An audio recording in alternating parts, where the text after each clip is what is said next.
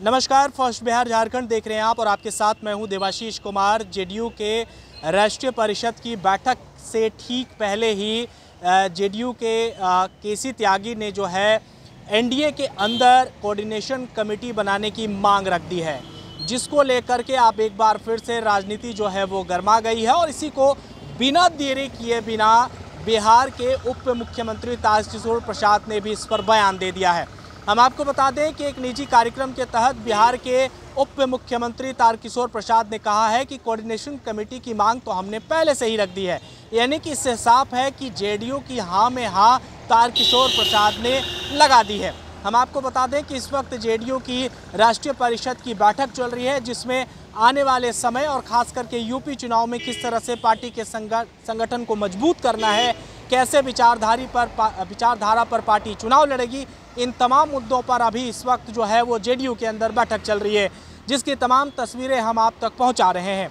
लेकिन उससे ठीक पहले बिहार के डिप्टी सीएम ने केसी त्यागी के बयान पर सहमति जता दी है और उन्होंने कहा है कि बिल्कुल जो है वो कोऑर्डिनेशन कमेटी बनाई जानी चाहिए, जिससे किसी भी दल के नेता को किसी भी तरह के बयानबाजी देने से पहले सोचना और समझना होगा। बिहार के उप मुख्यमंत्री तारकिशोर प्रसाद ने इस पूरे मसले पर क्या कुछ कहा है? आइए हम आपको सुनवाते हैं। रोज़गार नहीं मिल रहा था, ऐसे तमाम लोगों को, जिनको बहुत सस्ते दर पर अनाज मिलता था, उसको हमारी सरकार ने नवंबर माह तक निःशुल्क अनाज देने का फैसला लिया। और इस पार्टी ने इस कार्यक्रम को आम लोगों तक पहुँचाने के लिए लगातार हम सब उन्हें प्रेरित कर रहे हैं कि जो निःशुल्क अनाज उन तक पहुँचे, जो अंत्योदय के कार्डधारी हैं, उन्हें 35 किलो अनाज मिलना है। जो अन्य पीपीएफ के जो कार्डधारी हैं, उनको पाँच किलो प्रति व्यक्ति एक परिवार में मिलना है। यह बड़ी, बहुत हमारी सरकार का यह एक बड़ा फैसला है और फ़ेज़ वन में भी हमारी सरकार ने निःशुल्क अनाज देने में पहल की थी। तो आम गरीबों की चिंता हमारी सरकार करती है।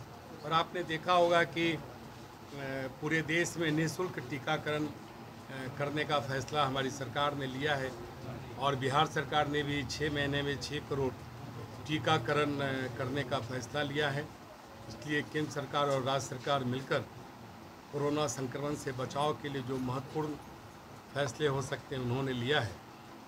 और हम उम्मीद करते हैं कि आने वाले दिनों में कोरोना से मुक्त होकर फिर जो विकास का जो चक्र है विकास का जो पहिया है फिर वो चल पड़ा है। धीरे धीरे इससे हम हम सब मुक्त हो रहे हैं। और आने वाले दिनों में हमारा जो आर्थिक चक्र है वो फिर पुराने पटरी पर लौटेगा। एक सवाल त्यागी ने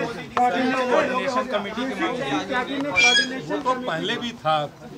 इसमें मांग क्या करना है जो हमारे एनडीए के बड़े नेता हैं उनको मिलकर तय करना है। ये तो पहले भी कोऑर्डिनेशन कमेटी थी। और जदयू को लग रहा है कि सर कोऑर्डिनेशन नहीं बैठ पा रहा है क्योंकि अलग अलग राय आ रहे हैं। नहीं देखिए अलग अलग राय की बात नहीं है। जो कोऑर्डिनेशन कमेटी है वो राष्ट्रीय स्तर पर अलग होगा राज्य स्तर पर अलग होगा क्योंकि राष्ट्रीय स्तर पर कई दल उसमें शामिल हैं। लेकिन राज्य स्तर पर जो दल शामिल है उसके अनुसार जो कोऑर्डिनेशन कमेटी बनेगा तो आपस में तालमेल भी होगा और किसी प्रकार की कोई गलत फहमियाँ होगी वो दूर भी होगी। क्या लगता है सर ज़रूरत है कोऑर्डिनेशन कमेटी की राष्ट्रीय नहीं पूर्व पहले भी था। बिहार में राष्ट्रीय जनतांत्रिक गठबंधन के कोऑर्डिनेशन कमेटी के अध्यक्ष हमारे माननीय वरीय नेता श्री नंद किशोर यादव जी थे। अच्छा